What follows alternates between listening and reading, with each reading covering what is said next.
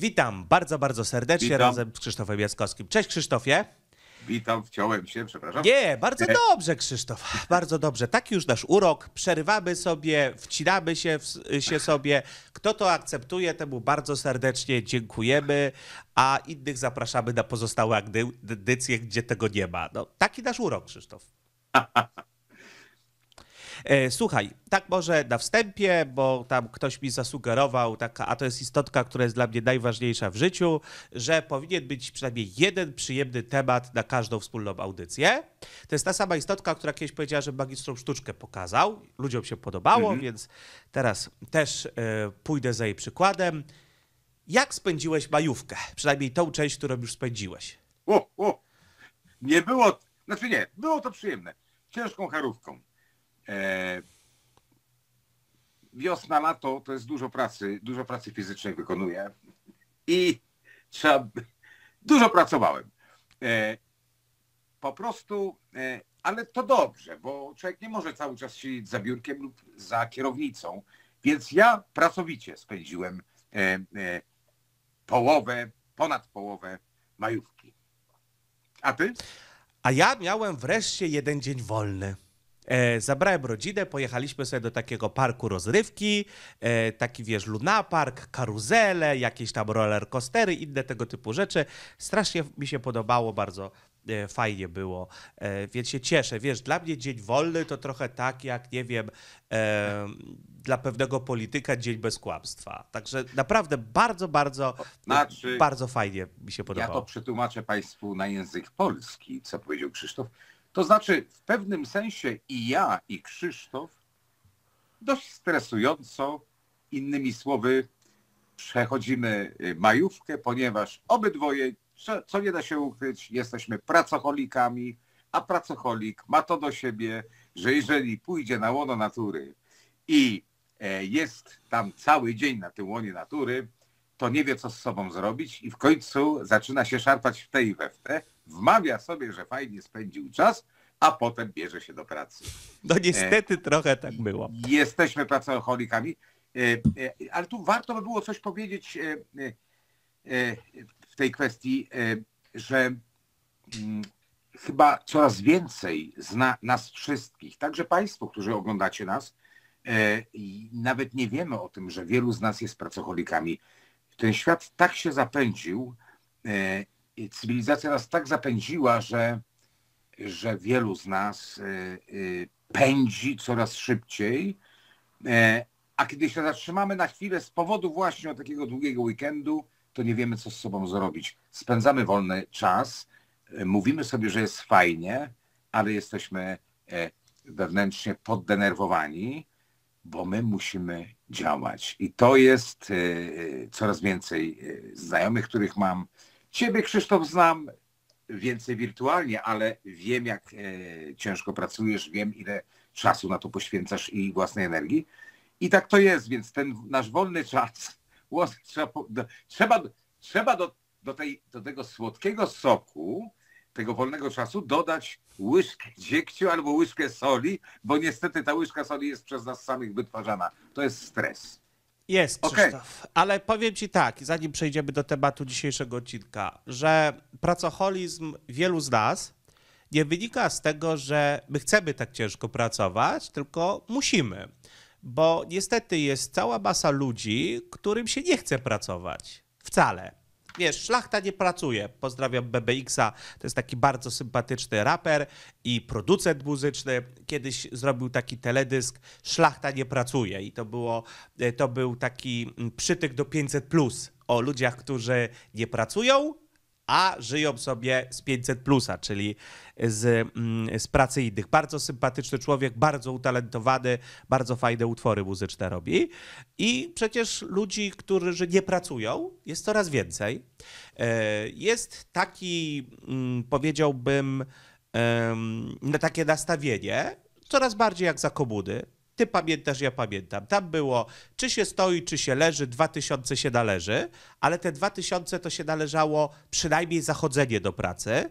Można było, e, można było do pracy, w tej pracy się opierdzielać, ale przynajmniej trzeba było pójść, żeby te 2000 dostać. A teraz jest takie mm, przysłowie odnośnie 500 plusa. I tutaj nie trzeba chodzić do tej pracy, nie trzeba mieć nawet obywatelstwa polskiego. Rząd zdecydował, że ktoś tam ma dostać. A tych plusów jest dużo. Jest 500 plus, jest 300 plus, teraz jest 12 tysięcy plus. E, No ktoś na to wszystko musi zarobić. Albo my pracując, e, albo ci, którym wcześniej chciało się pracować i poodkładali sobie pieniądze i teraz im jest żera inflacja, wywołana wcale nie przez Putina, tylko przez zażynanie gospodarki przez pana Morawieckiego i jego ekipę rządową. Oczywiście Putin to dość mocno pogłębił, to jest fakt. Ale drodzy Państwo, nie da się wywołać wojną inflacji, która zaczęła się około roku wcześniej. No, chyba, że Putin jest podróżnikiem w czasie i jakoś tak zakrzywił czasoprzestrzeń, ale w to to już chyba nikt nie uwierzy. Krzysztof, umówiliśmy się, że dzisiaj sobie porozmawiamy o tym, dokąd zmierza nasz świat, o najbliższej przyszłości i że troszeczkę, jak damy radę, zahaczymy o Chiny. Bo tam się dzieje bardzo ciekawie, e, ale w znaczeniu chińskiej klątwy, czyli obyś żył w ciekawych czasach. Może, może najpierw ty, bo ja za dużo mówiłem. Spokojnie. E, Do czego to wszystko zmierza? E, Trochę czasu już minęło od wybuchu wojny na Ukrainie i chcę powiedzieć e, rzecz taką, że nie wnikając, e, no bo nie ma sensu powtarzać ciągle zdania, że, że współczujemy Ukrainie. No współczujemy, to jest rzecz jasna. Natomiast e, dla mnie pewne rzeczy są coraz mniej, e, e, coraz mniej czytelne w sensie logicznym. E, Oto, może nie, inaczej. Ja muszę pozbierać swoje myśli, Krzysztof. E, Mów ty Dobra. najpierw. Proszę To ja powiem proszę tak. cię. Drodzy Państwo, w Chinach dzieją się bardzo dziwne rzeczy. Mówimy tutaj o Szanghaju, ale już nie tylko o Szanghaju. E, Tam w mieście, które ma około 25 milionów osób, e, testuje się znowu wariant, nazwijmy to z 2020 roku. E, Tych ludzi, jak nam donoszą media głównego nurtu, o tym będzie też vlog taki mój z czystą faktografią, więc zapraszam na niego niedługo, ale tych ludzi się zamyka w domu, tych ludzi się, e, tak jak donoszą mainstreamowe media. Ja podkreślę, że to nie musi być prawda, ale nawet jeśli to nie jest prawda, to to i tak jest istotne, bo wtedy media by nas oszukiwały. Ale to, co I, media... jakim, i, I istotne, jaki cel by w tym miały? Dokładnie. W każdym razie mówi się tam, że pozamykano ludzi w domach, że przymusem się wyciąga tych ludzi do, do, do izolatoriów, które są praktycznie jak więzienia, e, że tych, dla tych ludzi nie ma, nie ma jedzenia, że mieli 4 godziny na zrobienie zakupów. Em, Mówi, e, zamyka się port. E, Ten port zamknięty bardzo mocno rozwala światowy handel. Mówi się nam, że Szanghaj ma dwie trzecie populacji Polski i to wydaje się być y, bezsprzeczną prawdą. Zapomina się powiedzieć, że Szanghaj ma PKB, sam Szanghaj, równe PKB Polski, mniej więcej. Tam chyba 2 czy 3% jest różnicy między PKB Szanghaju a Polski. Czyli to jest czyli to nie tylko jest, czyli to jest bardzo bogate. Port szanghajski obsługuje dużą część handlu z Zachodem. I tu się zaczynają robić, Krzysztof, bardzo ciekawe rzeczy. E, Gdyż mówiliśmy bardzo dużo o e, kwestiach związanych z chipami, prawda? Że tam przez to na przykład, że nie ma tych chipów, to na przykład przemysł motoryzacyjny leży. Ja poddawałem taką ciekawą kwestię, że coś mi nie pasuje, bo mm, jak gdy, ja mówiłem wprost, że gdybym ja był menadżerem, y, który odpowiada za produkcję samochodów w dużych fabrykach, gdzie są drogie samochody, więc jest, jest, jest na czym zarabiać, prawda? I produkowałbym samochody wysokiej klasy, zarabiał na tym kupę forsy i był trzymany przez to, że nie mam tych chipów, które stanowią na przykład 1% em, wartości samochodu czy kosztów produkcji samochodu, a one stanowią podobno jeszcze mniej, e, to, to albo bym dogadał się z innymi koncernami i bym postawił fabrykę półprzewodników, albo bym sam postawił fabrykę półprzewodników. Zdawałbym sobie sprawę oczywiście, że taką fabrykę nie stawia się dwa miesiące, tylko raczej ze dwa lata, może nawet trochę więcej. No ale jakbym zaczął to robić dwa lata temu, to już bym prawie skończył.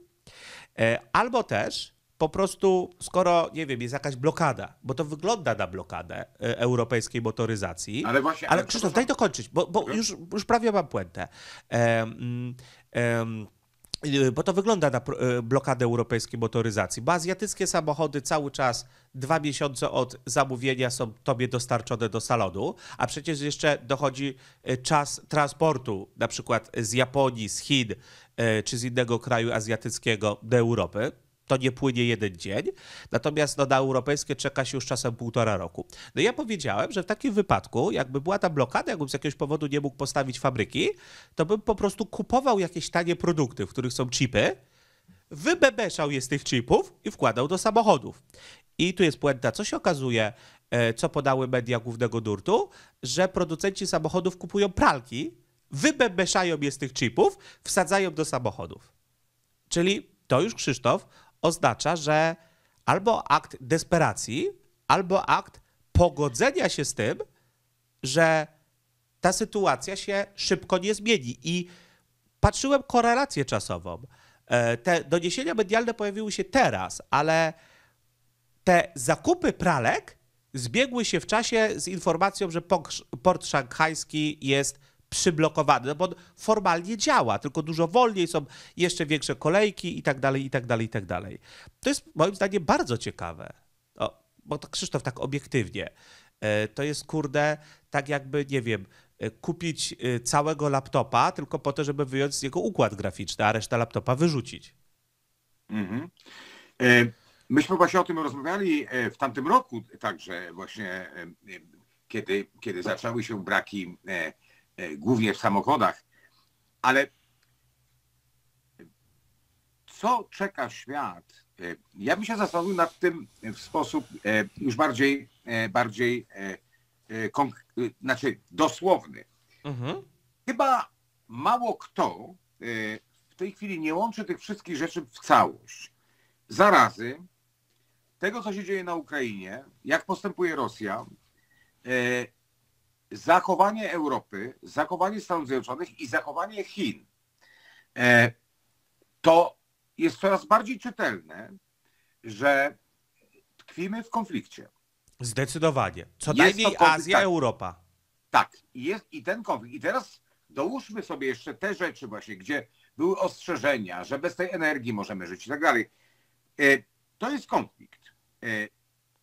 Ja na swojej audycji, ale też i razem, jak robiliśmy audycję nie tak dawno, e, obydwoje sugerujemy, e, tak, tak jak załóżmy półtora roku temu, rok temu sugerowaliśmy, e, żeby się przygotować na kryzys, na inflację, na, na poważne problemy. Taki jest w tej chwili.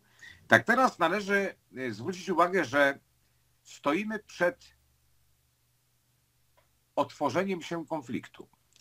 Ponieważ to, co się zbiegło z koronawirusem, e, czyli e, zwłaszcza 2021 rok, e, zwłaszcza druga jego połowa, to był wyraźny spadek wielu surowców, możliwość przez kupienia przez Europę wielu surowców, którą mamy do dzisiaj.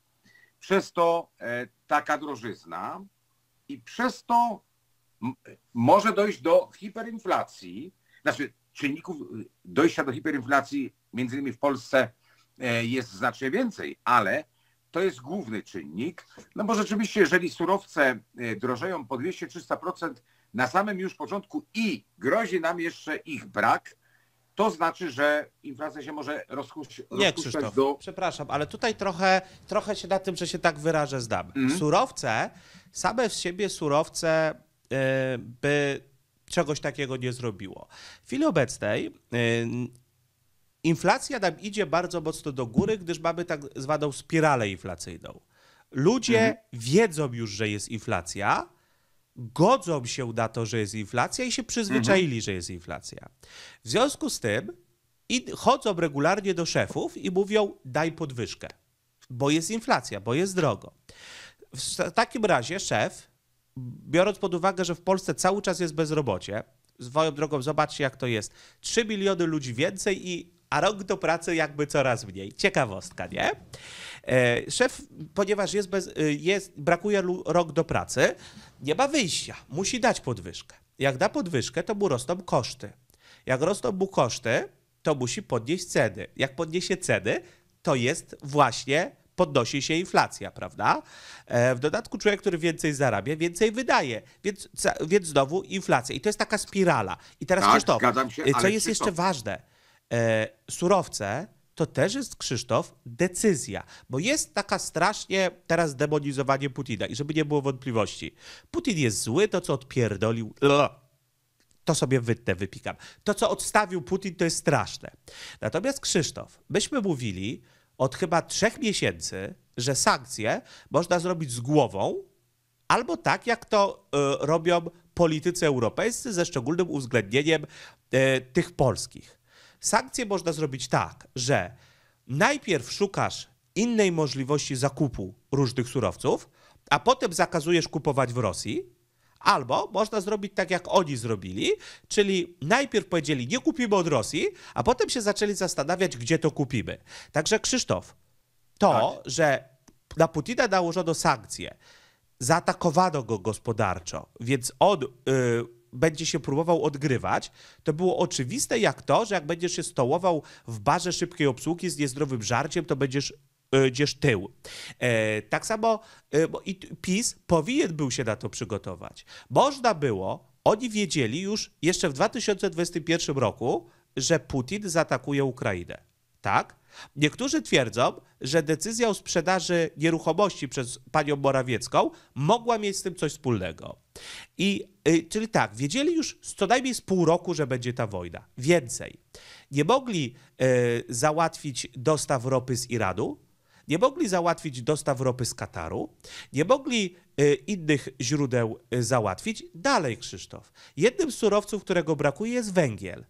Polska stoi węglem. I brakuje Oczywiście. w Polsce węgla. Dalej, E. Krzysztof. Są całkiem ciekawe, i już kończę, Krzysztof, przepraszam. Mhm, mhm, Są spokojnie. całkiem ciekawe, dobrze potwierdzone informacje, że węgiel na, od kopalni jest dość tani. Ty mówiłeś, że e, węgiel e, na składzie kosztował około 2000 zł. Tak. Czyli tak jest, bo ty tak mówiłeś. E, A jednocześnie są informacje dość wiarygodne, że kopalnie sprzedają węgiel po 500 zł. Czyli co? Marża 400 zł, e, 400%, e, cent tak samo z żywnością. Krzysztof, je- jedzenie jest bardzo drogie. Zgodzisz się ze mną, prawda? Tak. Cholernie drogie. A czy ty wiesz o tym, że ceny skupu dla rolników są wielokrotnie niższe? Za Oczywiście. ziemniaka, za którego w markecie musimy płacić 4 zł, rolnik dostaje Daję sobie 30-50 groszy. Krzysztof jest. Daję Jest drożyzna. Ale Krzysztof, żeby... ostatnie zdanie, bo Tak. zaraz mi ktoś tutaj będzie próbował mnie zrolować w jakiegoś tam agenta Putina. A ja jestem bardzo przeciwny Putinowi i za to mam hejty od prawdziwych agentów Putina, za to, że jestem przeciwny Putinowi. Krzysztof, gdyby zwalenie całej winy za durnoty i głupoty, które odstawia PiS, sprawiło, że w Polsce będzie dobrze, to ja bym wyszedł z transparentem wszystko wina Putina. Ale zwalanie winy na Putina za durnoty i głupoty, które robi PiS, sprawia, że w Polsce będzie jeszcze gorzej, bo oni wtedy tracą motywację do robienia lepiej. Więcej, mogą cały czas robić te głupoty, przez które w Polsce jest źle i nie ponosić odpowiedzialności, więc to się będzie jeszcze bardziej nakręcać i tylko dlatego, Krzysztof, przepraszam, że ci przerwałem, ale uznałem, że to, to, to po prostu jest, jest, jest bardzo ważne, że e, są tacy... Momencik, bo coś teraz Tak, się... tak, tak. Są Dobrze? tacy. Nie- O, teraz O, jest dobrze. Są tacy, Krzysztof, którzy na obecnej sytuacji są w stanie zarobić. Tak? Tak, E, ale Krzysz- E, I, a tutaj, pozwól. także to jest wina ja rządu. rzecz. Z czego, po, moim zdaniem, zaznaczam, ja nie jestem ekonomistą, Mhm. ale ja wytłumaczę, z czego moim zdaniem e, powstaje ta wielka inflacja. Otóż z gospodarki z kartonu. I dotyka ona mocno Polskę, tylko dlatego, że jest to gospodarka z kartonu. E, mimo że chełpimy się, jak to, e, jak to pięknie e, nasza gospodarka się rozwija od wielu lat, jak to pięknie PKB roś, rosło, rosło, no podobno jeszcze rośnie. Ale już wiadomo, że, że przestanie. Natomiast ja uważam, że przyczyna tego jest taka. Coś się popsuło, ogólnie jeszcze przed wojną na Ukrainie, w relacjach i z Rosją, i z Chinami. Jest to, e, ja bym to nazwał hybrydowa wojna gospodarcza. Bardzo I dobrze. teraz ta inflacja jest prostym, bardzo prostym efektem tego, że gospodarka europejska, chociaż w każdym państwie różnie to wygląda, e, ale mniej więcej podobnie. A tym bardziej też gospodarka polska, to są gospodarki biurowe, nazwijmy to. Oto, my nie mamy przemysłu, a e, przemysł wydobywczy, jaki mieliśmy, właśnie związany z surowcami, zarżnęliśmy przez lata w imię ekologii, w imię e, innych e, czynników, w imię też nieopłacalności tak zwanej. Trzeba wziąć pod uwagę, że w Europie są państwa, które prowadzą, dotują, dotują do e, e, swojego przemysłu. Niektóre e, gałęzie przemysłu są dotowane przez państwo, ponieważ uważane są za tak zwane strategiczne. I teraz, czymże Polska? W tej sytuacji Polska, to co może mieć stra- strategicznego w przemyśle, to dwie rzeczy. Jeżeli coś się jeszcze zachowało nam z produkcji broni, to ten czas jest na, na taką produkcję, a mieliśmy przecież e, zakłady, chyba mamy jeszcze, nie wiem, Duża no to część należy tak, do to też zerżnęliśmy, ale też e, właśnie górnictwo. E, górnictwo to było, była nasza pięta achillesowa za czasów komunistycznych w Europie, a też górnictwo i teraz był, może być przemysłem strategicznym. O tym się nie mówi. Tylko ja już nie o tym chcę mówić, chcę powiedzieć właśnie o powstaniu inflacji. E, Nie mogło być inaczej, jeżeli my, jeżeli tak, państwo żyło głównie z tego, że mamy nałożone podatki, czyli zysk dla państwa to są nasze podatki. Ludzie, e, wiele osób prowadzi własną działalność, e, ale są to usługi lub produkcje mało eksportowe. To są bardziej rzeczy, że tworzy, robimy usługi względem kogoś, z tego zarabiamy, z tego płacimy podatek, z tego płacimy ZUS. Państwo jakoś się kolebało, mimo że się zadłużało, jakoś się kolebało w ten sposób, ponieważ państwo miało e, wiele rzeczy, które są e, strategiczne, tak jak właśnie paliwo, jak właśnie węgiel, e, były umową, Po- Polska była umową związana i, i to się jakoś wszystko ciągnęło. Wystarczy, że przerwał się tak ważny właśnie łańcuch, jak umowy, E, I, za, I zaczęły być problemy typu e, może nie być gazu. Powiedzmy, że w 2021 e, już zapadła taka decyzja o świadomości tego, może nie być gazu. Zobaczcie, rośnie momentalnie produkcja rolna, która, do której produkcji rolnej, jak na przykład nawozy, jak na przykład różne produkty, jest potrzebny gaz. E, Więc już na tej podstawie idą straszne drożyzny. Mocno państwo decyduje się, czy jakieś spółki podwyższać te produkty. E, Ze względu na nośnik, na gaz. E, I teraz zwróćmy uwagę, węgiel, paliwo, gaz. Trzy rzeczy wymieniłem, ale jakże one są strategiczne dla naszej gospodarki, proszę się nie obrażać, z kartonu.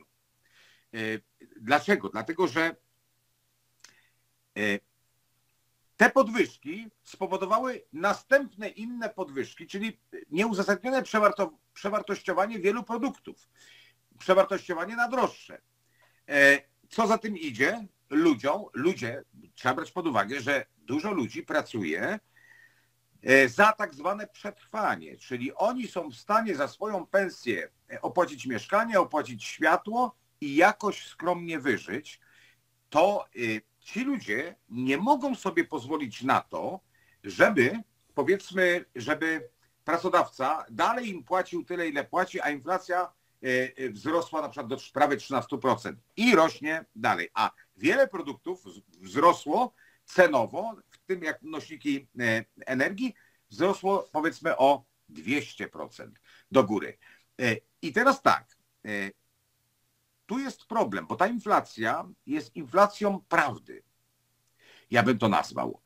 Czyli jeżeli urywa się łańcuch, urywają się pewne nitki, które od lat dawały nam jakieś bezpieczeństwo i nie waży, czy nam to sprzedawała Rosja, czy kto inny. Waży, że ten towar mieliśmy, że te surowce mieliśmy, to e, na zasadzie e, zysków i strat, czyli życia z pieniędzy podatników i rządzenia państwa z pieniędzy podatników i e, rozporządzenie długu pu- publicznego i, i spłacając to też z, z podatników, państwo nie generowało zbytnio przychodów ze z stworzenia wielkiego przemysłu lub stworzenia e, jakichś, e, jakiegoś wydobycia czegoś, gdzie inne państwa chciałyby z nami mieć umowy, chciałyby od nas odbierać czy produkty, które byłyby chodliwe za granicą, czy surowce. My w pewnym sensie się tego wszystkiego pozbyliśmy. Ja będę staroświecki, ale na przykład Polska e, za komuny była takim dużym zagłębiem cukrownictwa. E, e, Sadziło się bardzo dużo, rolnicy sadzili bardzo dużo buraków cukrowych e, i, byliśmy producentem cukru. To też te cukrownie także zostały polikwidowane. A pamiętasz jak? Proszę? Pamiętasz jak? Bo to była bardzo ciekawa spiskowa teoria, Tak, która no. stała się faktem. Może powiemy ludziom. Nie, ale nie tylko dokończę Krzysztof. Dobra, ja przepraszam. Ten wątek. I chodzi o, o co? Chodzi o to, że trzeba zrozumieć to, że w pewnym sensie, w pewnym sensie to, co teraz pan Morawiecki mówi na Putina, że, że to jest, jak to, jak on to nazwał, pół, putinflacja. Tak? Putflacja. Czy putinflacja? Tak, y, to w pewnym sensie on mówiąc to ma rację, ponieważ e, okazuje się, że coś, co ma naprawdę wartość, czyli surowiec, e, wypiera w tej chwili coś, co nie ma wartości, czyli pusty pieniądz, pieniądz od podatnika, pieniądz niewytworzony e, w sensie e, kapitału produkcyjnego, tylko pieniądz z ręki do ręki. Gospodarka, jeżeli ma za ten pieniądz zapewnione surowce, zapewnione rzeczy, które są potrzebne do funkcjonowania państwa, taka gospodarka może się czuć bezpiecznie, ale w momencie, jak się to zerwie, w tym momencie ten pieniądz niewiele znaczy, a państwo to, chcąc nawet jak najlepiej, pogrąża się w recesji, pogrąża się w inflacji, ponieważ ten pieniądz nie ma wartości. E, Ja uważam, że ten rząd, po pierwsze, nie ma pomysłu na obecną sytuację, żadnego. E, Ten rząd jest nie wiem na co przygotowany. Ja, ja nie, nie mam pojęcia, jeżeli ta sytuacja na Ukrainie się przedłuży, co nie daj Boże, to nasz rząd e, naprawdę stanie przed nie lada problemami już w drugiej połowie lata tego roku.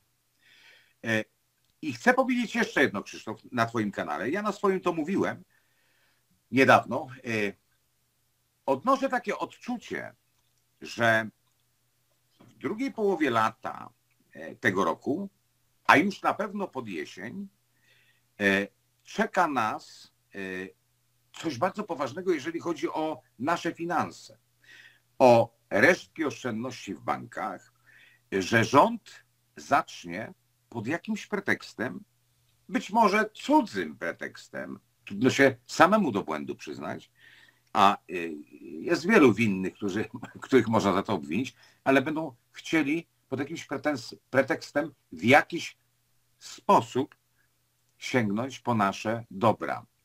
E, I to w imię ratowania naszej ojczy- ojczyzny i ratowania naszej gospodarki. Do tego e, idziemy, w tym kierunku idziemy i nie zdziwmy się, jak coś takiego zacznie następować. Nie tylko grozi nam inflacja, ona już jest. i e, rząd już przyjął ją pod swoją kołdrę, śpistą inflacją. Oczywiście ta inflacja się inaczej zaczęła nazywać e, Putinflacja. No to e, jest to Nie, nie trochę zaczęła się inaczej bolesne. nazywać. Rząd... Kończę, ale tylko kończę, Mhm. tylko powiem tak, że mamy do czynienia z wojną. To jest wojna, którą, która dotyczy także nas. Dotyczy też Europę. Y, y, I jeszcze raz mówię, ja już to mówiłem wcześniej, że w moim poczuciu e, więcej siły, bo jeżeli jest to wojna, jakaś wojna gospodarcza, to Chiny ma, są przynajmniej krok przed nami, przed Europą i przed Stanami, ale głównie powiedzmy przed Europą. Dlaczego? Dlatego, że Chiny mogą wybrzydzać, to oni produkują. To oni mają nas w ręku. I teraz mówiliśmy wielokrotnie w tamtym roku, to wygląda na podduszanie gospodarki europejskiej i amerykańskiej. Podduszanie. I wtedy już zadawaliśmy pytanie, jak długo Europa, jak długo Stany wytrzymają takie podduszanie. E, To wygląda w taki sposób, że jeżeli tak jest i jeżeli to potrwa dłużej, to gospodarki mogą wręcz upadać. E, Polska gospodarka jest bardzo narażona na taki upadek. Więcej powiem, e, może być tak, że kraje natowskie nie będą miały wyjścia i będą musiały zareagować nie tylko politycznie na tą sytuację. I może o to chodzi. Tu się może trochę za daleko posunąłem, ale wygląda na to, że konfrontacja na świecie będzie musiała się odbyć, ponieważ za mocno, y, za mocny jest ten ścisk. Druga rzecz ważna, to co się pokazuje w Chinach, w tym Szanghaju, co powiedziałeś, i to już ko- końcówkę mówię, to jest bardzo zagadkowe, ponieważ ja oglądałem ten filmik i powiem jedną rzecz, która mnie zdziwiła na tym filmiku. Ja nie wiem, czy to był ten, który ty oglądałeś. E, To było Te, tak krótko- ty mi przysłałeś ten filmik, A, o no którym ja właśnie, mówiłem, to więc był- mówimy o tym samym. tak, Na telewizji film- takiej, w której taki Tak, bardzo miły film, pan pracuje. Film z naszych polskich wiadomości. E, I to była taka 3-4 minutowa relacja. Dość obszerna. Pokazywano tam mężczyznę, który, którego ludzie w takich opakowaniach no, brali do tego, e, do tego odosobnienia, e, gdzie no, ludzie pozamykani w domach, potężne miasto puste. Tylko jedna rzecz mi była bardzo dziwna w tym filmiku. Nie wiem, Krzysztof, czy zwróciłeś uwagę. Pokazywa, pokazali tam noc. Noc, w którymś momencie miasto nocą. I krzyki. Słyszałeś krzyki i wycia. To tak wyglądało, słuchajcie, tak wyglądało jakby w Szanghaju większość ludzi, gdzie wiele wieżowców było, pootwierało okna i zaczęło wyć i krzyczeć. Ja Tak. w to nie wierzę. Ja w to nie wierzę. Ja nie wierzę, Krzysztof, jeżeli w Człuchowie, w Warszawie kazano by nam siedzieć w domu, okej, byśmy byli wściekli, byśmy byli załamani, byśmy się buntowali, ale wątpię, żeby wszyscy gdzieś na osiedlu warszawskim potwierali okna i w nocy w jednej krzyczeli, e, robili tak. Uuu, uuu, uuu. To jest mało prawdopodobne. E, Nie wiem, Tu pozwolę się z tobą nie zgodzić. e, nie wiem, Krzysztof, uważam, uważam, że Krzysztof. ten program telewizji, który ci wysłałem, Ale no dobra, to mi może ja powiem wprost. To na Polsacie leciało. To nie była żadna taka e, Mi tele... się wydał dziwny. To nie była żadna taka telewizja, że się tak wyrażę, trzeciego nurtu. To była jedna z najbardziej mainstreamowych telewizji w Polsce, e, o której w innych mediach się sugeruje, że ona może tam przemilczać pewne niewygodne dla PiSu fakty. To Tak. nie ja tak twierdzę. Także i, Ale, i ale ten program... jedno. on- Mhm. Bo, bo ja bym chciał właśnie tą, tą, tej całej dłuższej wypowiedzi puentę powiedzieć. Mhm. Bo powiedziałem na samym początku, jak dałeś mi głos, ja powiedziałem, może lepiej ty mów, bo ja muszę pozbierać myśli. E, i e, powiedzmy, że je pozbierałem w trakcie swojego wywodu i powiem Tobie, Krzysztof, i Państwu rzecz taką. E, Coś, co jest oczywiste, wcale nie musi być oczywiste, ponieważ mi coraz bardziej to wszystko podpada. E, Od samego początku, jak powstała zaraza, jak ona się zaczęła w Chinach, w Europie, czym w Polsce,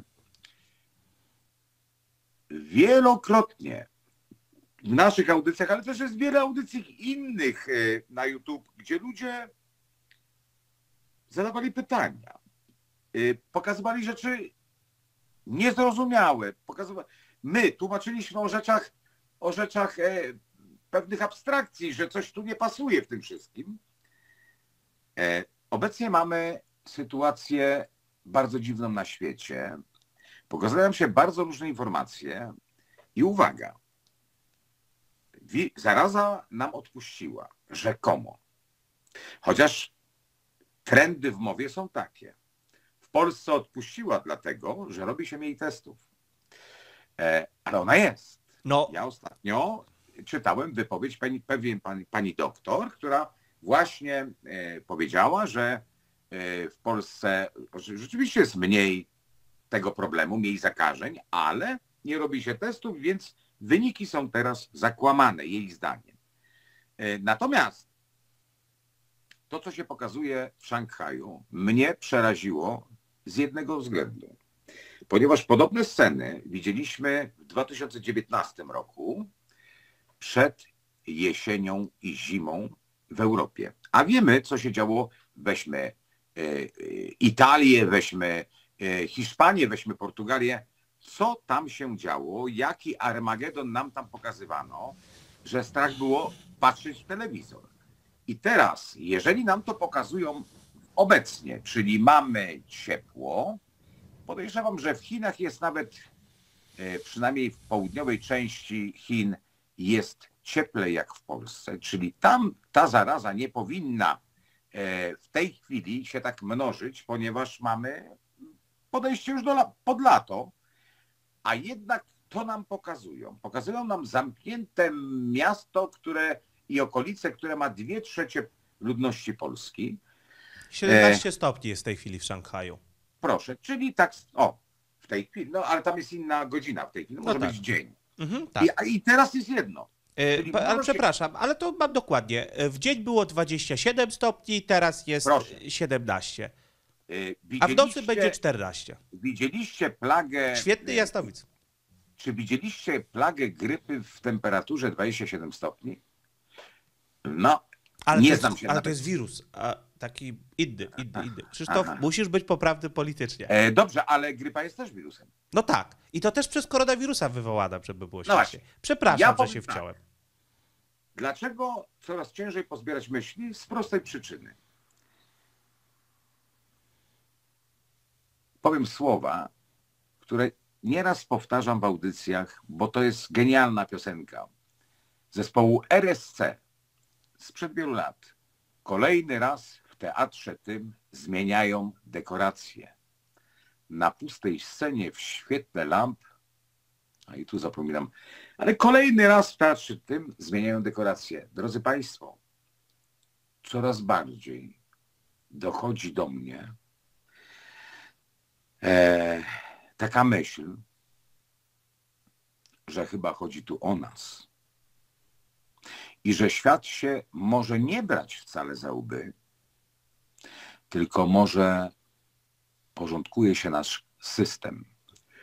Oczywiście wojna się dzieje na Ukrainie, ale ogólnie nie możemy zapomnieć o dwóch latach, które przeszliśmy przed wojną na Ukrainie które błyskawicznie zapomnieliśmy z pierwszym słońcem, majówką. My już nie pamiętamy tego, co się działo.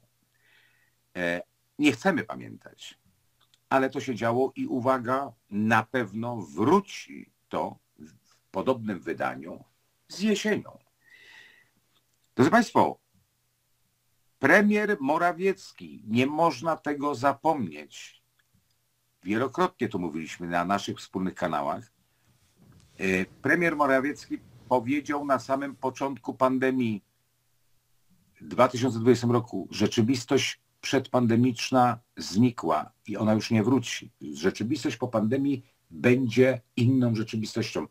On nie powiedział rzeczywistość w trakcie pandemii, po pandemii. Tak. Czyli premier powiedział ni plus, ni minus. Premier powiedział dosłownie to, że czeka nas kompletnie inna rzeczywistość. Y, Ale żeby inna rzeczywistość powstała, musi coś runąć. My w tej chwili nie jesteśmy w stanie do końca rozpoznać sytuacji wszyscy, y, ponieważ ona się zaczęła dziać na naszych oczach. Y, Ona ma bardzo łatwe, łatwe wytłumaczenie. Wojna jest. I przez to mogą dziać się bardzo różne rzeczy. Ale zwróćmy uwagę na nas. I zwróćmy uwagę na to, czy rządzący martwią się nami. Pytanie zasadnicze, czy oni martwią się o, e, o to, e, ilu ludzi ze względu na, na inflację i ze względu na drożyznę energii chociażby, ale też drożyzny fiskalne, które są potężne w tej chwili. Ten nowy ład okazał się straszną rzeczą dla wielu ludzi produktywnych. E, Czy rząd, może inaczej, czy te przepisy są, by nam pomóc, czy są, by nam zaszkodzić i osłabić? E, Obawiam się, że możemy być świadkami w tej chwili, nieświadomymi świadkami e, zmiany systemu go- gospodarczego na świecie, e, zmiany systemu wartości na świecie i zmiany zamożności na świecie. Jeszcze raz powtarzam. Ja by, opowiem tak może. Byłem wczoraj w Warszawie. Jak wjechałem wczoraj do Warszawy, to byłem załamany. 1 maja, czyli nie jest to dzień codzienny. Słuchajcie, ja się nie mogłem po Warszawie samochodem poruszać. Korek na korku. Tyle samochodów, a to, jest, to było święto. Więc mówię, Bardzo ważne. co tu się dzieje w dzień codzienny? Skoro pierwszy, ty się 1 maja urodziłeś? No. A ja 1, ja 1 czerwca. No wiem, będę dzwonił. Dwie jedynki. E, Ja i się śmieję, tak, że komuchy chodzą w paradach na moją cześć i kom- komuchy się wtedy bardzo wkurzają, bo mnie nie I lubią. teraz, to w gratulacje Krzysztof wszystkiego dobrego. Dziękuję. Kolejny rok płaciłem więcej ZUS-u. Hurra, hurra, hurra. I teraz tak, A przepraszam. Dobra, to ty mów, a ja potem opowiem dowcip sytuacyjny. my jesteśmy prawdopodobnie, no, kilka rzeczy się może na nas dziać, ale na pewno zmienia się wartościowanie naszego życia. E, Jak to sobie trudno wyobrazić e, teraz jeszcze, że niektórych z nas może w przyszłości niedługiej nie być stać na wiele rzeczy, typu samochód, nie, mu, nie mówiąc już o budowie domu czy innych rzeczy. E, Musimy zwrócić uwagę, że zganiając winę na to, na tamto, może jakiś jeszcze tajfun przejść, może michura jakaś być ogólnopolska, inne rzeczy i na, na coś zawsze można złożyć winę, e, co dzień tłumacząc, że to jest tylko z tego powodu, cała reszta jest ok. My godzimy się na ustępstwa daleko idące. Z kimkolwiek nie porozmawiam, każdy mówi, Boże, jak wszystko drożeje. Tylko to nie jest mówione, no co się dzieje, drożeje, no w końcu trzeba powiedzieć stop. My jako suweren, jako naród. Nikt tego nie mówi. Nie, jest przyzwolenie wie- społeczne. Tak, każdy wie, że nie ma na to wpływu, bo tak się mu mówi. Nikt nie ma na to wpływu.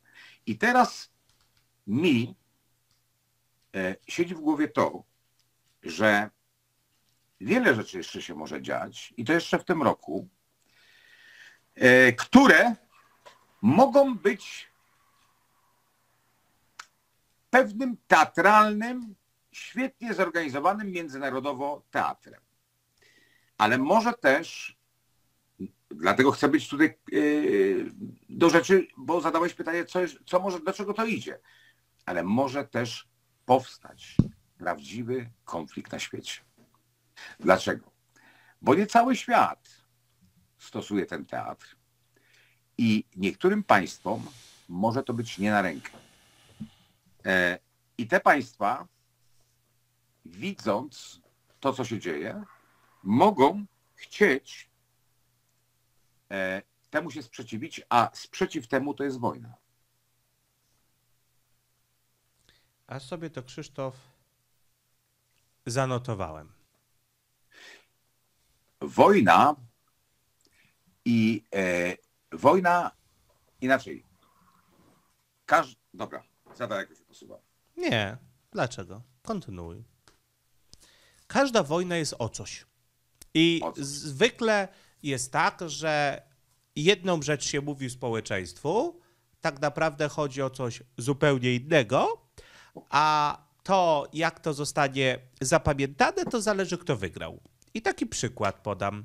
Wojna secesyjna. Może ko- kojarzycie w Stanach Zjednoczonych. Jak się zapyta człowieka na ulicy, o co chodziło w wojnie secesyjnej, to zapewne powie, o, że o zniesienie niewolnictwa, nie? Gucio prawda. E, W wojnie secesyjnej e, zniesienie niewolnictwa było skutkiem e, wojny secesyjnej, a nie przyczyną.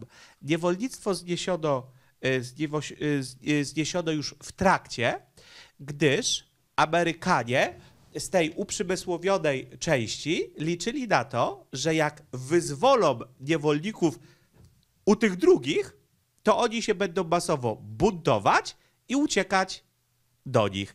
Czyli trochę to jest tak, jakbym e, ja na przykład e, powiedział, e, powiedzmy, że taka bardzo hipotetyczna sytuacja, ona nigdy nie będzie miała miejsca. Powiedzmy, że ja nie lubię Krzysztofa Jackowskiego i chcę mu zaszkodzić. I mówię, Krzysztof Jackowski mieszka tam i tam, to nie jest trudne, bo, y, y, mieszka tam i tam i ja pozwalam, każdy, oddaję dom Krzysztofa Jackowskiego dla ludzi. Każdy, kto sobie życzy, może wejść do Krzysztofa Jackowskiego i tam zamieszkać. E, no to, no to mniej więcej coś takiego zrobili Amerykanie. Dali wolność niewolnikom, licząc na to, że oni zrobią, y, zrobią pewne rzeczy na południu i, i to był po prostu element wojny. Tam chodziło o coś zupełnie innego i o tym mamy vlog na kanale Wideo Prezentację. Krzysztof, a dlaczego mi się o tym mieszkaniu tak po, e, powiedziało? Ja przepraszam, jeśli to było niestosowne. tak. Bardzo cię przepraszam. Znaczy nie, to było niestosowne. Przepraszam. Żadnego warunkowego. Natomiast Krzysztof, mm, ty powiedziałeś takie zdanie, bo ja jak, ja jak Krzysztof Jackowski mówi, to ja sobie notuję różne rzeczy i, o, i, i potem wiem, do czego się odnosić. Powiedziałeś takie zdanie, rząd zabierze nam. I bo mówiłeś, że właśnie czeka nas jeszcze wyraźny fiskalizm i tak dalej, i tak dalej. Ja bym ci chciał, Krzysztof, zaproponować, nie, nie chcę się teraz do tego odnosić, bo chciałbym ci zaproponować oddzielne nagranie tylko na ten temat, Mhm. E, Ja ostatnio cię nie oglądałem, przepraszam. E, Spokojnie. Z, okazji własnych urodzin postanowiłem się wyspać. e, Potem własne urodziny spędziłem, mm, że się tak wyrażę. No, ktoś inny miał radość, ale tak było lepiej. Ja się cieszyłem, patrząc, jak ta osoba się cieszy. E, Natomiast doszło, dokładnie do tych samych wniosków doszedłem, że na jesieni czeka nas zabór, bo to już jest y, takie określenie zabieranie nam pewnych rzeczy i widzę symptomy, jakie to będą rzeczy, w jaki sposób to będzie i widzę już takie przygotowanie medialne, żeby tych ludzi, którym się będzie zabierać, generalnie nie żeby było przyzwolenie, to jeszcze, żeby tych ludzi, którym się będzie zabierać, żeby ich nienawidzić. Będzie szczucie społeczne. Ono się już zaczęło. Jest taki portal, on jest bardzo sprzedajny. E, Tam, e, jak się im zapłaci, to na przykład e, zrecenzują twój produkt i dadzą wysoką ocenę i tak dalej. I on zaczął pisać takie bardzo szczegól, e, bardzo specyficzne artykuły. E, Moim zdaniem, m, moim zdaniem, dlatego, że mu rząd zapłacił. Nie powiem, jaki to portal, bo nie chcę mieć z nimi problemów, ale e, moim zdaniem właśnie to, e, no, ja tutaj dostrzegam pewne wzorce. Chciałbym się ciebie zapytać, czy nagralibyśmy oddzielny materiał na ten temat. Chętnie. Super. E, to, to, to bardzo się cieszę. Natomiast Krzysztof, w takim razie to zostawiam. I tylko taki mój komentarz do tego, co ty powiedziałeś. Bo to, co ty powiedziałeś, było głęboko mądre. I chciałbym wam przypomnieć o tym cukrze. Bo generalnie Krzysztof mówił bardzo mądre rzeczy.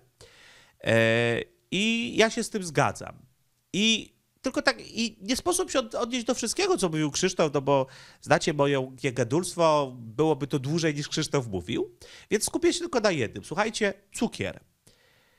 To jak Polska straciła cukrownię, to jakbym to nagrał jako spiskową teorię w zielonej poświecie, to byście mi powiedzieli, że to jest, że ja bredzę, że to jest, że to jest brednia, że tak nie może być, bo to jest tak hardkorowe i tak nieprawdopodobne, że i tak nielogiczne, że nikt by w to nie uwierzył jako w spiskową teorię. A to prawda jest. Drodzy Państwo, było sobie tak. Eee, zacznę od, powiedzmy, od połowy tą historię, żeby ją skrócić. Pan Gabriel Jadowski. Pamiętasz, Krzysztof, taką postać? Oczywiście. E, pamiętasz, Były poseł. były poseł. A dlaczego nieobecny poseł? E, Bo on, e, w momencie, w którym ta historia się dzieje, on był posłem. I zasłynął tym, że zrobiono z niego wariata. Pamiętam to. Na żywo to widziałem w Sejmie. Dokładnie. Nagle pan Jadowski, podkreślam słowo zrobiono. Nie, że został, nie, że był, tylko że zrobiono. E, Pan Jadowski, który był osobą taką spokojną, poukładaną, zrównoważoną, Ułożony. ułożony, bardzo kulturalny człowiek, nawet jak na tamte czasy e, kulturalne, a wtedy jednak była wyższa kultura polityczna, e, no można powiedzieć, że dzisiaj, wtedy powiedzmy, że było tak bardziej arystokratycznie, a dzisiaj jest tak bardziej chamsko. E, Wtedy mowa parlamentarna oznacza, język parlamentarny wtedy oznaczał wysoką, wzniosłą, piękną polszczyznę, teraz oznacza, że będą się wyzywać, pluć, kłamać w żywe oczy i zarzucać jedni drugim kłamstwo. Generalnie kiedyś, y, jak chciałeś dziecko ukulturalnić, brałeś go na, na tą taką wystawkę sejmową, zobacz, jak tu ludzie ładnie się spierają, a teraz jak chcesz dziecko nauczyć y, się, y, jak to się ładnie mówi, szermierki słownej, ale takiej niegrzecznej, czyli jak chcesz dziecka nauczyć się wyzywać, to albo puszczasz mu pewnych youtuberów, których nie wspomnę, albo bierzesz go do Sejmu. No i pan Jadowski był człowiekiem kulturalnym jak na tamte czasy. Także naprawdę wyższa kultura osobista. I nagle, nie wiadomo dlaczego, pan Janowski wyszedł na mównicę i zaczął się zachowywać, jakby wstąpiła w niego dusza orangutana. E, Zaczął wydawać z siebie dziwne głosy, e, zaczął e, wykonywać bardzo dziwne gesty. No, naprawdę, jakby się zamienił na duszę z orangutanem. Został wyprowadzony w świetle kamer przez Straż Marszałkowską i zrobiono z niego klinicznego wariata. Klinicznego. I wszystko, co mówił pan Janowski, zostało obarczone tym jednym epizodem w karierze długiej, spokojnego i kulturalnego człowieka. Nikt nie zadawał pytań, a ci, którzy zadawali, byli nazywani zwolennikami spiskowych teorii i odsądzani od czci i wiary. Jak to jest, że nagle kulturalny człowiek ułożony miał taki epizod? Że to nielogiczne jest, że dużo bardziej prawdopodobne jest, że ktoś mu coś dosypał, niż to, że nagle kulturalny człowiek na dwie godziny schamiał, a potem znowu stał się kulturalnym człowiekiem. Ale nie wolno było zadawać takich pytań, bo był atak. I, czyli panu Jadowskiemu nałożono łatkę wariata i z tą łatką wariata opowiadano jako o kompletnych niedorzecznościach o tym, co pan Jadowski głosił. A pan Jadowski głosił, że jest zmowa w celu zniszczenia polskich cukrowni. Że e, i on nawet chyba miał takie stowarzyszenie, Polski Cukier albo Obrona Polskiego Cukru, coś takiego. W każdym razie wtedy Polska rzeczywiście stała bardzo mocno cukrem. Mieliśmy bardzo silne cukrownie i pan Janowski twierdził, że one są zagrożone i nawet podawał scenariusz, jak one mają być zniszczone. Potem pan Janowski zniknął w hańbie, niezasłużonej moim zdaniem, bo ja jestem przekonany, że coś mu dosypano. I co się stało? Stało się to, że nagle polski cukier został przejęty przez niemieckie cukrownie. Tak po prostu. Nie było pana Janowskiego, został przejęty przez niemieckie cukrownie. Ale to jest, drodzy Państwo, dopiero początek historii, która na razie jest całkowicie jasna. Teraz się robi ciekawie. Okazuje się, że zaraz potem, jak, niemieckie cukro... jak polskie cukrownie stały się niemieckimi cukrowniami na terenie Polski, Unia Europejska doszła do wniosku, że w Europie produkuje się za dużo cukru. I każda cukrownia, która mogła zmniejszyć swoje moce produkcyjne, otrzymała od Unii Europejskiej, a więc od nas, bo Unia Europejska nie ma swoich pieniędzy, e, tylko płaci pieniędzmi, które zabierze mieszkańcom Europy, e, często w podatkach pośrednich. E, nich, czyli tak, Unia Europejska zapłaci za to cukrowniom, które zmniejszą swoje moce produkcyjne. Co zrobiły niemieckie cukrownie? Zamknęły polskie cukrownie i wzięły za to więcej pieniędzy od Unii Europejskiej, niż zapłaciły za polskie cukrownie. Rozumiecie, jaki, jaki byk? To jest trochę tak. Yy, jakby, o, Krzysztof Jackowski Wiedziałem, że mnie uczepi. nagle wpadnie na pomysł, żeby kupić moje mieszkanie. E, Żeby kupić moje mieszkanie. Kupuje moje mieszkanie, a pół roku później PiS wydaje ustawę. Każdy jasnowic, który kupi mieszkanie od kudłatego vlogera, dostanie 5 milionów złotych. W związku z tym Krzysztof Jackowski ma i moje mieszkanie i 5 milionów złotych. No, to co powiecie? No, nic dziwnego, Krzysztof Jackowski to jest najsłynniejszy i najlepszy polski jasnowic. Na pewno to wyjasnowidził i po prostu wiedział. Także tutaj nie byłoby nic złego, no bo po prostu by potwierdziło, że Krzysiek jest super jasnowidzem. Pytanie, jakiego jasnowidza zatrudniły niemieckie cukrownie?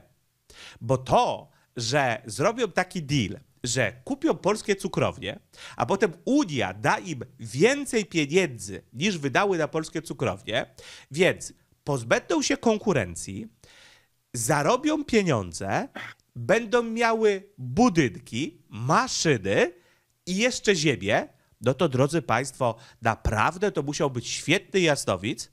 I tutaj pozostaje tylko pytanie. Krzysztof, ile ci te niemieckie cukrownie zapłaciły? Przepraszam, to, to był oczywiście żart, ja nic nie sugeruję, Ja bym, ale ja bym- rozumiecie o co chodzi. To była Tak. taka historia, że jakby to powiedzieć jako spiskową teorię, nikt by nie uwierzył. A to był Ja bym- fakt. Fakt. I dlaczego nikt nie pyta, kto dosypał coś Krzyszto- y, panu Ja- y, no, e, Gabrielowi Janowskiemu? Dlaczego zniszczono człowieka? ja bym chciał e, jeszcze jedną rzecz wspomnieć, która właściwie łączy się z tym, co nawet z tą historią z przeszłości, którą ja jak żywo pamiętam, bo ja oglądałem e, obrady Sejmu akurat te na żywo i widziałem, jak on się zachowywał. Wszyscy byli w szoku. E, on po paru dniach mówił, że mu coś dosypano, że no ale to już... Nikt go nie słuchał, bo już miał łatkę Tak. wariata. Rzecz jest ważna. i- Ja jeszcze chcę jedną rzecz ważną powiedzieć. Proszę Państwo, y, musimy sobie zdać sprawę a propos tego, co nas, w którą stronę idziemy, co nas czeka. Y, Musimy sobie zdać sprawę z jednej rzeczy bardzo ważnej. Ja y, często w niedzielę jestem w podróży i y, wracam często nocą. I y, odsłuchuję wtedy, ja nie wiem jak ta audycja się nazywa, to jest w radiu, w jakiejś popularnej stacji, ale nie pamiętam jakiej. E, Redaktor e, e, prosi przedstawicieli klubów par parlamentarnych, znaczy posłów, no i tam o pani lub, ma, lub, małe, lub Mauer, tak się nazywa, tak? Lubdauer, kojarzę, tak. O, tak. Pamiętam, mi był jakiś czas temu Bosak, Był, było tam, byli inni. Z każdego, i był też jakiś doradca czy minister pana prezydenta. E, Ja ich słucham na tyle, na ile mi się da ich odsłuchiwać, bo e, słucham, to jest godzinna audycja i słucham ich, nie wiem dlaczego, rozrywka to nie jest, bo te, te dyskusje ich są nic nieznaczące, tych, tych, tych przedstawicieli, ponieważ jak słucham wypowiedzi, to jest tak promowanie z własnej postawy partyjnej, poza tym e, jest to e, dęta gadka, bym powiedział, a nie e, rzeczowe mówienie o problemach naszego kraju. Nie masz wrażenia, że oni ze sobą nie rozmawiają, tylko oni wykrzykują swoje Tak, racje? tak, tak. I zauważyłem pewną dziwną rzecz, że od 2020 roku, jeżeli któryś z polityków podaje racjonalne, zadaje pytanie, albo podważa coś, co jest ogólnie przyjęte, staje się wywrotowcem. Tak. Ja właśnie wczoraj tą, tą audycję słuchałem i nie powiem, który z tych, z tych przedstawicieli polityków zadawał pytania i był czemuś przeciwny. Nie odpowiedziano mu na te pytania. Powiedzia, wszyscy jednogłośnie, Kogo zwyzywano? że jest wywrotowcem. E, A pytał o e, gospodarkę, pytał o stan nasz e, obywateli z powodu sytuacji, jaką teraz mamy. I powiem jedną rzecz. Drodzy Państwo, najgorsze społecznie, co się może stać dla nas, dla ludzi, jest to, bo musimy, musimy uświadomić sobie jedną waż, ważną rzecz. Państwo to nie jest sobie państwo, w którym my szczęśliwie lub może bezpiecznie sobie żyjemy. Państwo, drodzy Państwo, państwo to jest spółka, do której należymy.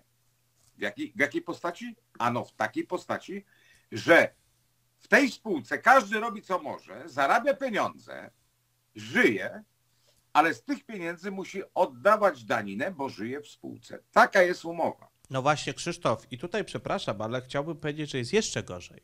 Ja się w pełni z Tobą zgadzam, że to jest spółka, do której należymy, ale nie Tak. której jesteśmy właścicielami, Tak, ale- tylko ale której właśnie- własnością jesteśmy. Własnością jesteśmy. Wła- tak, dobrze, dobrze, że to e, w ogóle e, e, zaznaczyłeś. Ale co jest istotne, to, że my jesteśmy w spółce, oznacza, że jest zarząd.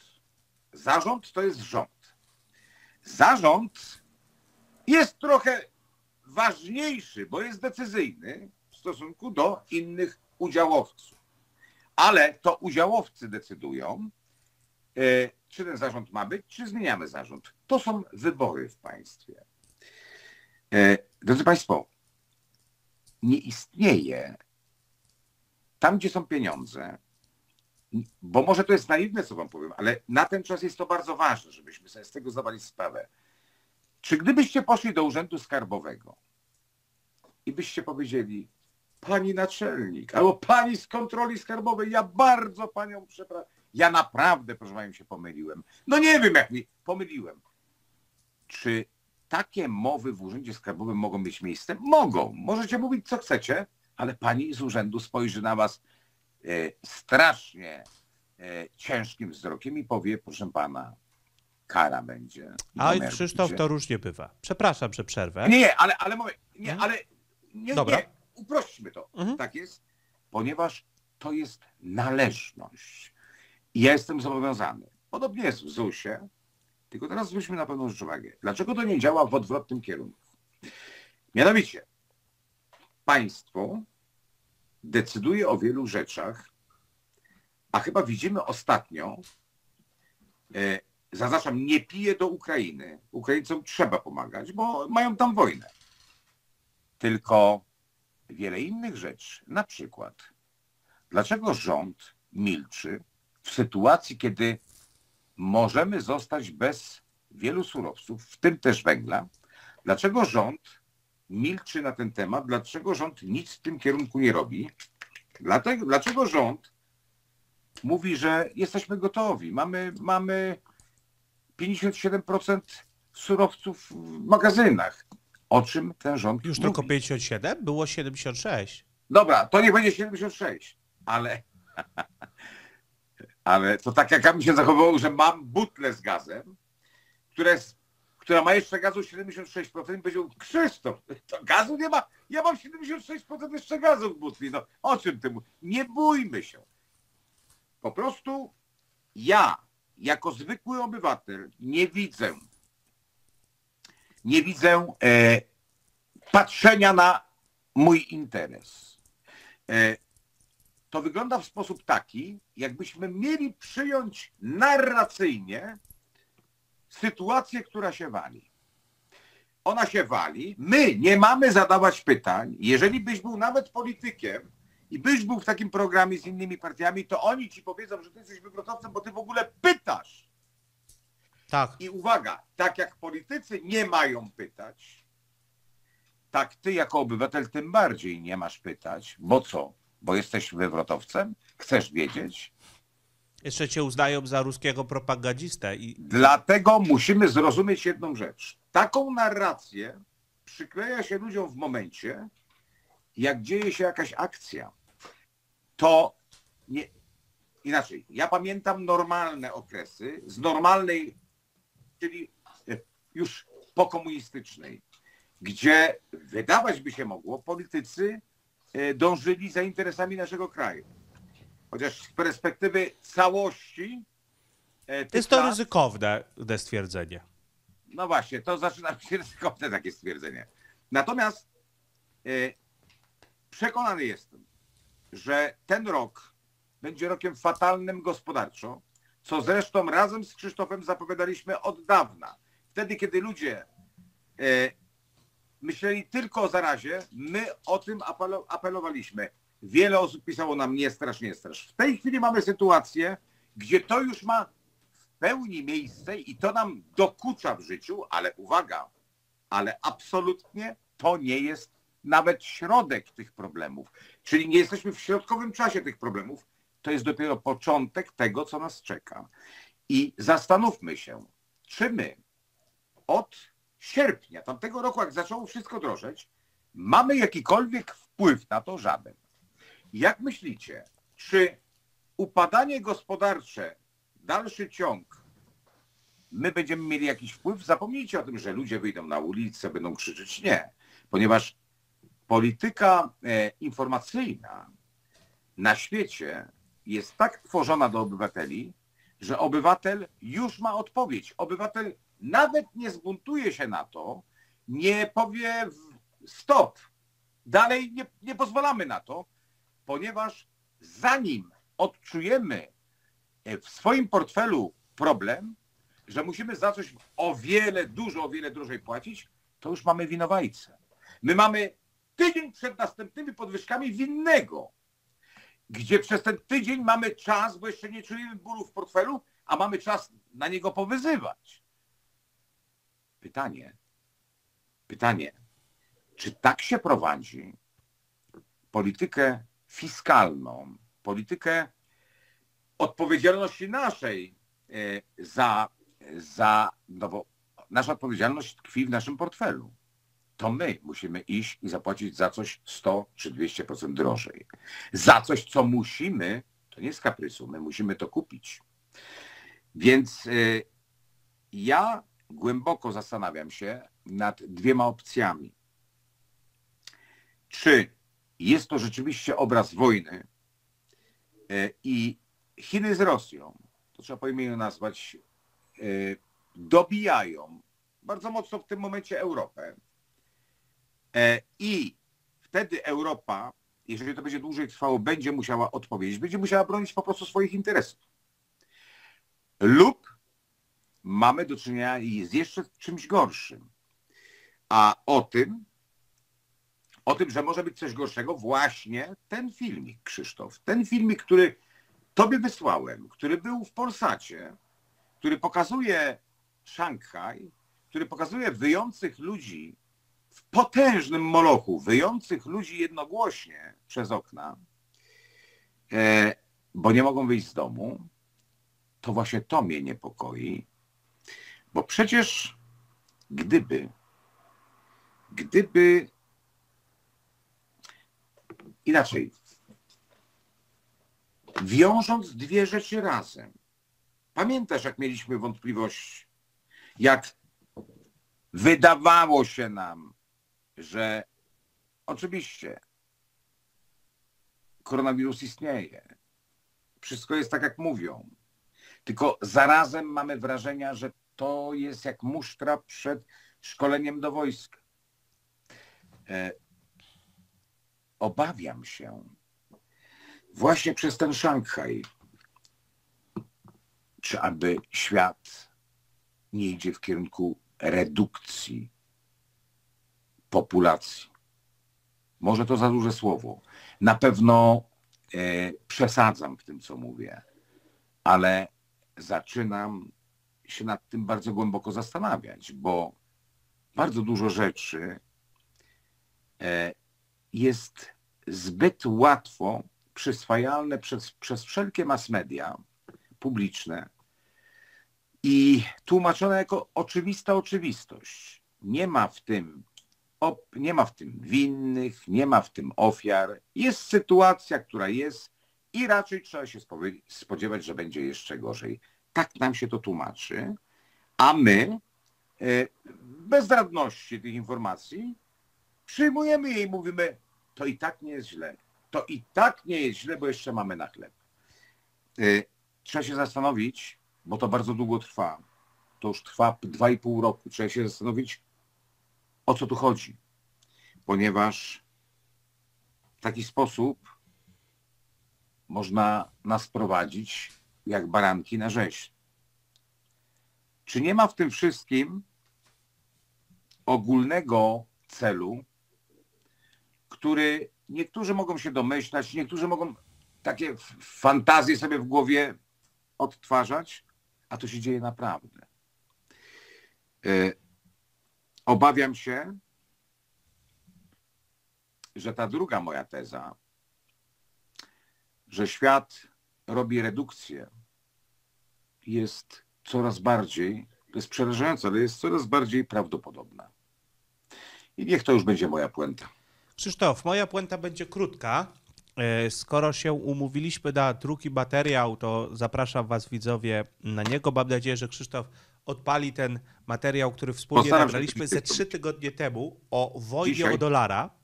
E, Serdecznie zapraszam, żeby wchodzić na kanał Krzysztofa i patrzeć, czy ten film jest, bo on Dzisiaj to jest teraz jeszcze bardziej aktualny niż wtedy. E, A pamiętajcie, że myśmy go nagrywali trzy tygodnie temu.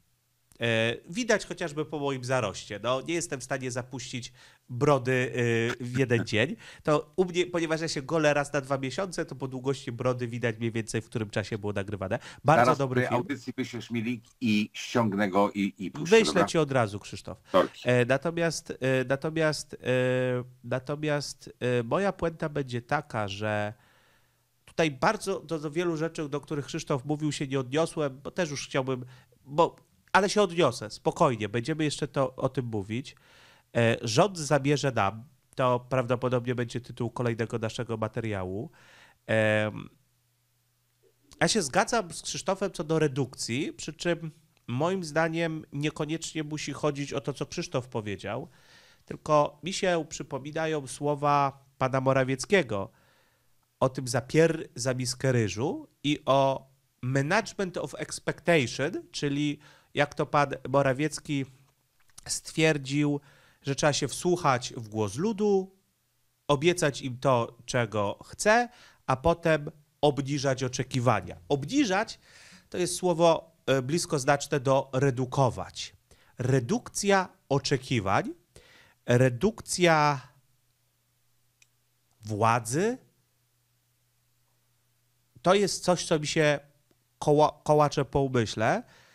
E, moim zdaniem jesteśmy przestawiani na system, w którym nie tylko redukuje się nasze oczekiwania, jak to śpiewał pan Bogdan Smolej świętej pamięci, mamy być mniej pazerni.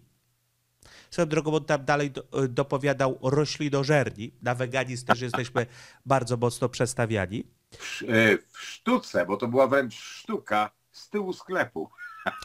tak się to nazywało. Chyba w Opolu to było. Tak, albo Bogdan Smolej na chorobowym. Już nie pamiętam, gdzie to było, ale... Nie, nie, nie. To było na Z pewno tyłu sklepu, tak? Znam to. Okej. To, E, swoją drogą, drodzy Państwo, niech to będzie puenta, że mamy od ponad 30 lat wolną Polskę, rzekomo gospodarkę, gospodarkę wolnorynkową i skecze z głębokiego PRL-u pasują do naszej rzeczywistości.